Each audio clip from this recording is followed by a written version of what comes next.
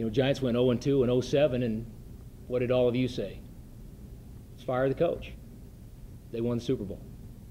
I mean, there's a ton of those stories out there, but nobody likes those stories. Nobody recounts those stories. Nobody publishes those stories because people don't like those stories. That doesn't create conflama. You know, that doesn't that doesn't get the juices flowing. But there's, you know, whether it's the Arizona Cardinals last, I mean, just every every year you can.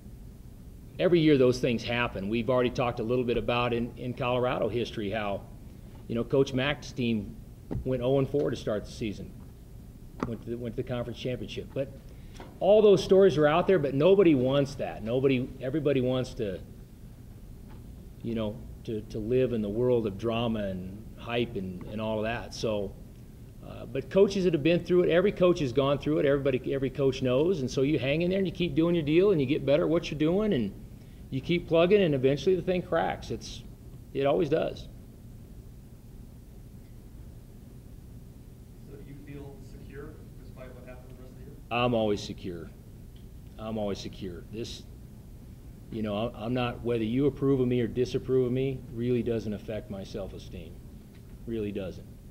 And um, I know this. My boss is sitting over here. We're doing things right by the kids. We're doing things right by the school. We're doing things right football-wise, too. So uh, you guys are not in the bowels of our program every day, and you don't you don't see all the little things that go on, you don't understand all that, and that, that's okay and understand part of that, but we're doing things the way you're supposed to do them. I know that. As a football team, in the weight room, in academics, discipline wise, and you know, in the structure of where we are and who we are right at the University of Colorado. I have 100% confidence in that. 100% confidence. And, but you know, you can't, you have to control what you can control. And I know we're doing that.